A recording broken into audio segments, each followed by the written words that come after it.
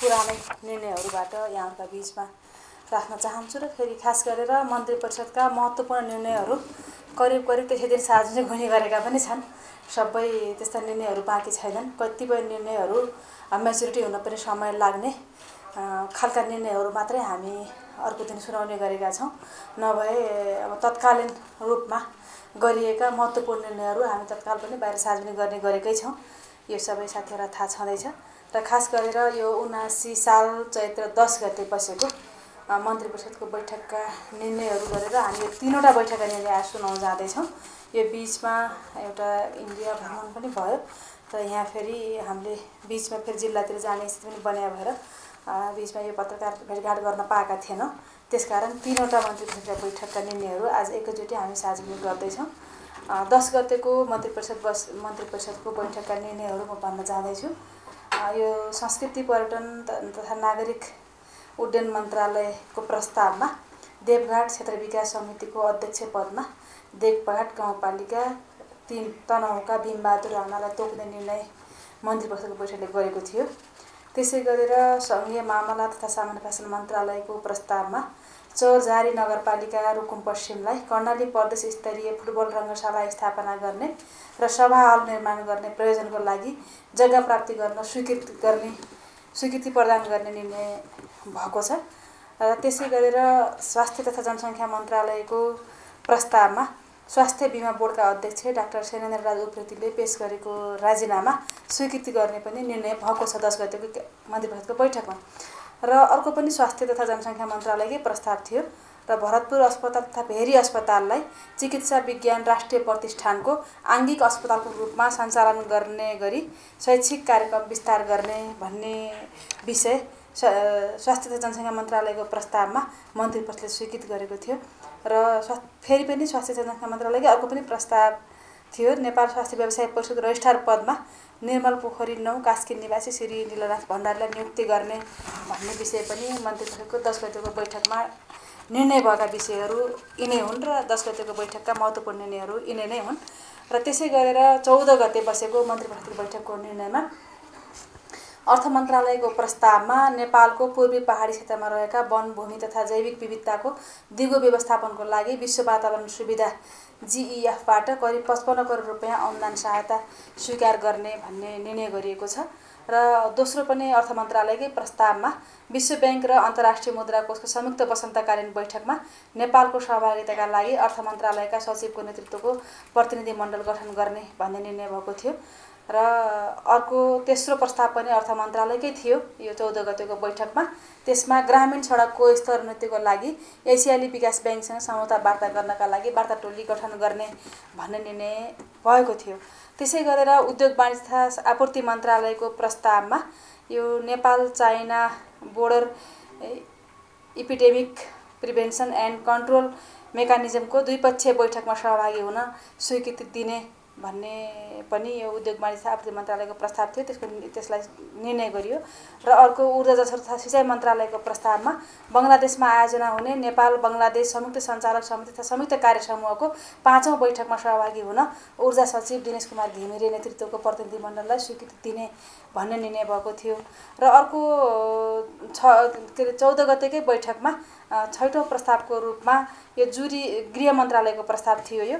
र यो चाहिँ जुरे पहिरो पीडितका लागि जनस्तरबाट सङ्कलित रकम जिल्ला विपद व्यवस्थापन समितिबाटै स्थानीय तहको समन्वयमा स्पष्ट खाका र मापदण्ड बनाई पीडितलाई नगद राहत उपलब्ध गराउन जिल्ला विपद व्यवस्थापन समिति सिन्धुपाल्चोकलाई निर्णय निर्देशन दिने निर्णय पनि क्याबिनेटबाट भएको थियो।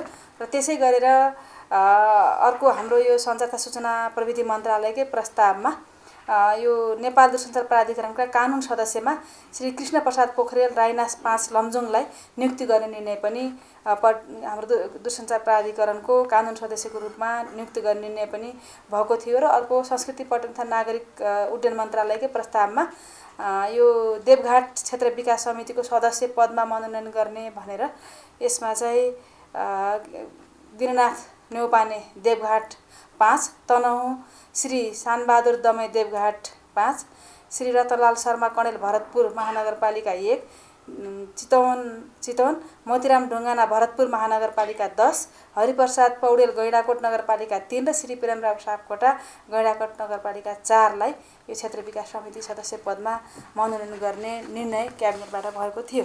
र यो चौध गतेको बैठकका निर्णयहरू पनि यिनै हुन् र अब हामी हिजो मात्रै सम्पन्न भएको चैत्र बिस गतेको उनासी चैत्र बिस गतेको मन्त्री परिषदका केही महत्त्वपूर्ण निर्णयहरू बाहिर आइ पनि सकेका छन्। तिनलाई मैले फेरि पनि यहाँका बिचमा राख्न चाहन्छु।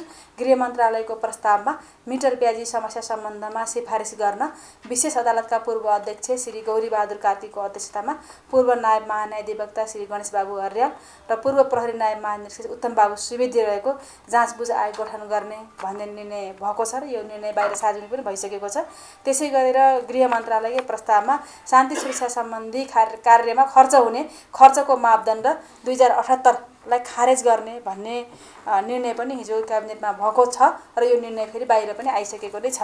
त्यसै गरेर परराष्ट्र मन्त्रालयको प्रस्तावमा नेपाल चिन कुटनैतिक परामर्श संयन्त्रको पन्ध्रौँ बैठकमा सहभागी हुन परराष्ट्र मन्त्रालयका सचिव को नेतृत्वको नेपाली प्रतिनिधिमण्डल गठन गर्ने भन्ने निर्णय भएको छ र भौतिक पूर्वाधार यातायात मन्त्रालयको प्रस्तावमा सवारी तथा यातायात व्यवस्था ऐन दुई हजार उन्चासको अनुसूची दुईमा हेरफेर गर्न स्वीकृति दिने भन्ने व्यवस्था छ। यो व्यवस्था भने यो इम्बोर्स नम्बर प्लेट जुन अङ्ग्रेजी भाषामा लेख्ने भन्ने त्यहाँ त्यो अनुसूचीमा त्यो व्यवस्था रहेछ। त्यसमा अब कतिपय अब अङ्ग्रेजी भाषामा हाम्रो इम्बोर्स प्लेटको त्यो तयार भइसकेको।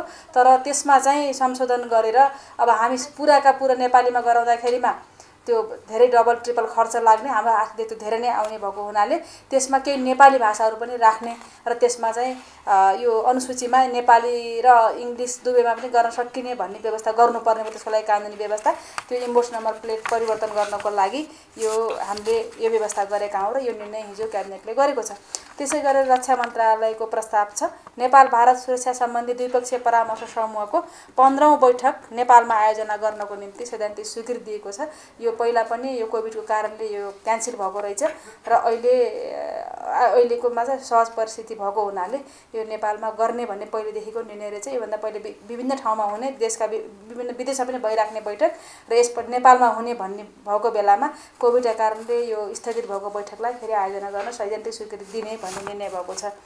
र अर्को यो वन तथा वातावरण मन्त्रालयको प्रस्तावमा पूर्व पश्चिम लोकमार्ग अन्तर्गत नारायणघाट बुटोल सडक खण्डमा पर्ने राष्ट्रिय वन क्षेत्र प्रयोग गर्न गर्नको निम्ति स्वीकृति दिने भन्ने निर्णय भएको छ।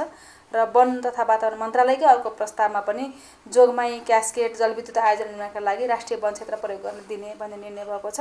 र हाम्रा मोटामोटी भएका निर्णयहरू पनि हुन् र कैयन निर्णयहरू सार्वजनिक भइसकेका छन् र बाँकी निर्णयहरू पत्रकार साथीहरूको बिचमा मैले यही नै राखेँ। त्यस्तो केही भए फेरि पनि सफल गर्ने एउटा प्रतिबद्धतासहित अहिले मेरा भनाइ टुङ्ग्याउँछु। धन्यवाद।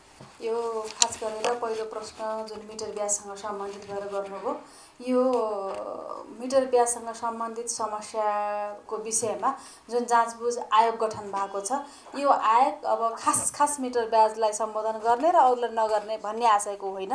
यसले मिटर ब्याजसँग सम्बन्धित सम्पूर्ण समस्याहरू सदाका निम्ति समाधान गर्ने उद्देश्यसहित यो गठन गरिएको छ र हिजो पनि मैले मिडियामा बोलेको थिएँ र यसको मुख्यालय जनकपुरमा राखिएको छ। त्यस कारणले गर्दाखेरिमा पीडितहरूले सहज ढङ्गबाट आफ्ना कुराहरू पुर्याउन सकुन् भन्ने यसको उद्देश्य पनि हो र फेरि यो आयोग एउटा मिटर ब्याजको समस्या छ छैन भनेर खोज्नको निम्ति होइन मिटर ब्याजको समस्या छ कस्ता कस्ता खालका समस्याहरू छन् भन्ने मात्रै भएको हुनाले र समाधानको उपाय के हो भन्ने विषयमा दि दिने कुरा भएको हुनाले यो जाँचबुझ आयोगले सबै मिटर ब्याजसँग सम्बन्धित समस्याहरू समाधान गर्छ भन्ने सरकारको एउटा त्यो विश्वास छ र जहाँसम्म मिटर ब्याजीहरू फेरि पनि आउनुभयो भन्ने कुरा छ के कुरामा चित्त बुझेन भन्ने कुरा छ उहाँहरूले सम्भवतः क्याबिनेटको निर्णयको हिजो मात्रै हामीले त्यसरी गऱ्यौँ। यसको अब विस्तृत यसको उद्देश्य थाहा नपाएर पनि आउनु भएको हुनसक्छ। उहाँहरूसँग छलफल कुराकानी हुनेछ र मैले उहाँहरूसँग तपाईँ मार्फत पनि के आग्रह गर्न चाहन्छु भने यो काठमाडौँमा दुःख पाएर बस्ने होइन। उहाँहरू आफ्नो ठाउँमा फर्किनुपर्छ। सरकारले तत्काल यो समस्याको समाधानका निम्ति जाँचबुझ आयोग गठन गरेको छ र यो आयोगबाट सरकारले सदाका निम्ति समस्या समाधान गर्ने गरेर अगाडि बढ्छ।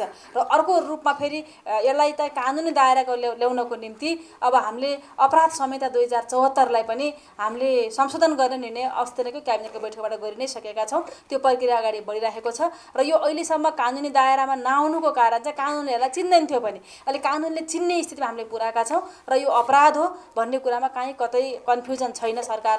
त्यस कारणले गर्दाखेरि अपराधको ट्रिटमेन्ट कसरी हुन्छ त्यसै गरी नै गरिन्छ। त्यसले गर्दाखेरिमा यो तिन महिनाको समय दिएर यो जुन आयोग गठन गरिएको छ यो आयोग आफैमा एउटा शक्ति सम्पन्न पनि छ र यसले समस्याहरूको ठोस ठोस पहिचान गरेर समाधानका उपाय पनि ल्याउनेछ र सरकारले निर्णय गर्नेछ। त्यसकारण म सबैलाई के आग्रह गर्न चाहन्छु भने यो समस्याको समाधानको निम्ति काठमाडौँ आइराख्नु पर्दैन भन्ने कुरा सरकारकै तर्फबाट पनि आग्रह गर्न चाहन्छु। यो पहिलो कुरा यो हो। र जहाँसम्म अब सरकारको विस्तारमा हो चारवटा अहिले नेपाली काङ्ग्रेसबाट आउँदाखेरिमा अझै पनि हाम्रो सरकारले पूर्ण रूपमा अब पूर्णता पाएको छैन। अब करिब करिब पूर्णता त भयो तर पुरै पुरै पूर्णता नपाइरहेको अवस्थामा अब हिजो पनि हाम्रो क्याबिनेटमा यो विषयमा छलफल पनि भएको थियो। र छिट्टै केही दिनभित्रमा भित्रमा नै यो सरकारले पूर्ण रूपमा पूर्णता पाउँछ भन्ने कुरा छ र मलाई लाग्छ पार्टीहरूका आन्तरिक समस्याहरू पनि हुन्छन्। केही कारण होलान् ती कारणहरूको समस्याको समाधान छिटै हुनेछ तत्काल हुनेछ र सरकारले पूर्णता पाउनेछ भन्ने कुराको विश्वास गर्न सकिन्छ र सरकारले छिटै पूर्णता पाउँछ भन्ने नै प्रधानमन्त्रीको निस्पिरिट छ र सबै गठबन्धनमा आबद्ध दलहरूको पनि यो कुरामा प्रतिबद्धता छ। त्यसकारण छिटै नै पाउँछ भन्न चाहन्छु।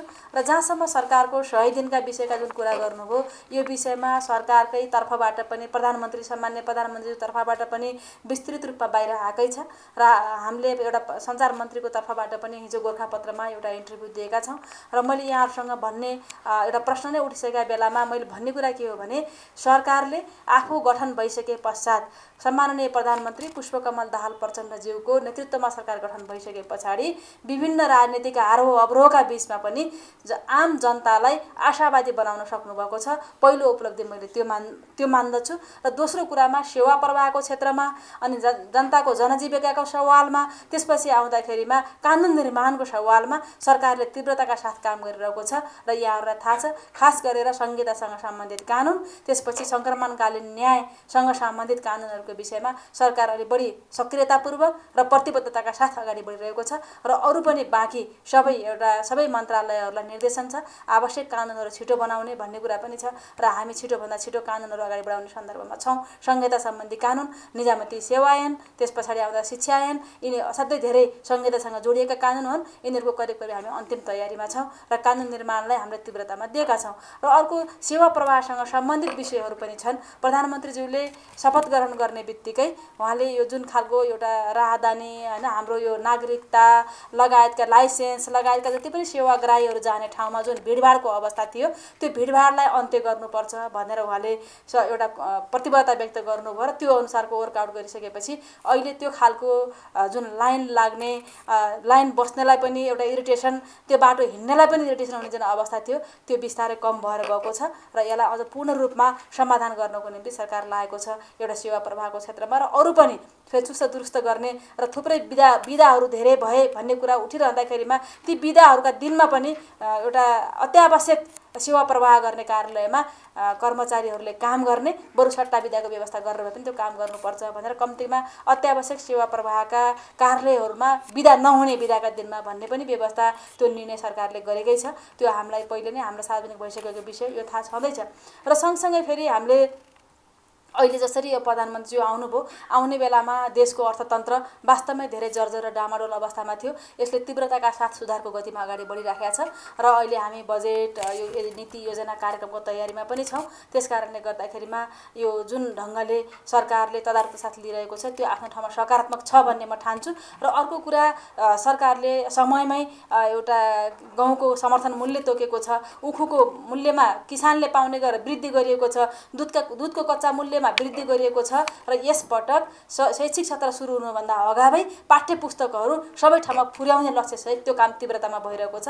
त्यस कारणले सेवा प्रवाहका क्षेत्रमा कानुन निर्माणका क्षेत्रमा र जनजीविकाका सवालका क्षेत्रमा सरकारले गम्भीरतापूर्वक एउटा पाइलाहरू अगाडि बढाएको छ। कतिपय परिणाम देखिएका छन् कतिपय प्रोसेसमा छन् परिणाम देखिन बाँकी छन्। समय लाग्छ परिणाम देखिन्छ र यो बिचको फेरि यहाँहरू जसरी प्रश्न गर्नुभयो सय दिन त पुग्यो तर राजनैतिक उतार चढाव पनि चाहन्छु नि हाम्रो रहेन। एउटा गठबन्धन के अरे भत्कियो अर्को गठबन्धन फेरि सुरु भयो। सरकारले प्रधानमन्त्रीज्यूले दुई दुई पटक संसदमा विश्वासको मत लिन पर्ने त्यो स्थिति पनि बन्यो। यो सबै हुँदाहुँदै पनि फेरि सरकारको कामको जुन तीव्रता छ त्यो आशा गर्न लायक छ योग्य छ। त्यसकारण अब बाँकी आगामी दिनमा पनि अझै तीव्रताका साथ हिजो क्याबिनेटको बैठकमा सम्भवतः सय दिन पुगेको उपलक्ष्यमा प्रधानमन्त्रीज्यूले एउटा क्याबिनेटमै पनि एउटा मन्तव्य राख्नु भएको छ र हरेक दिन मन्त्रालयबाट नयाँ कामको सुरुवात गर भनेर मन्त्रीहरूलाई निर्देशन दिनुभएको छ र हामी त्यसमा प्रतिबद्ध छौँ। त्यसरी अगाडि बढ्दै जाने सन्दर्भमा हामी सामान्य जागिर खान आएका होइनौँ मन्त्री बन्न आएका होइनौँ र देशको सेवा गर्न आएका हौँ। त्यो प्रतिबद्धतासहित काम गर्न हुन भनेर प्रधानमन्त्रीको निर्देशन छ। त्यो निर्देशनको पूर्ण पालना गर्ने प्रतिबद्धता सबै मन्त्रीज्यूहरूले सिङ्गो क्याबिनेटले त्यो प्रदर्शन गरेको छ। त्यस कारणले गर्दाखेरि मलाई के विश्वास छ भने यो सय दिनको एउटा सकारात्मक सुरुवात भएको छ। सबै काममा सकारात्मक सुरुवात छ र यसले फेरि तीव्रतामा आगामी दिनमा एउटा तीव्रता हासिल गर्नेछ भन्ने कुरा यहाँहरूका बिचमा राख्न चाहन्छु। धन्यवाद।